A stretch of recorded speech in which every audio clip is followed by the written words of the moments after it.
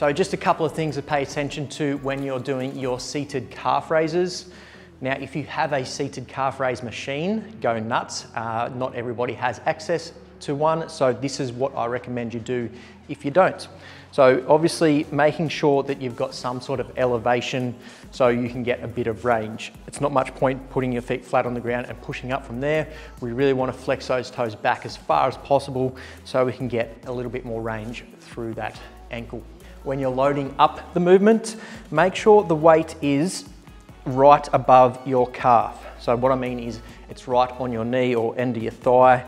Um, so the load is going straight down to your heel. So it's one line. You don't want to load it up back here because it's going to halve the weight that you've got on your calf. Really make sure it's in line all the way down. And again, we're trying to go through as much range as possible. So drop that heel down as low as you can, coming right up on to those toes.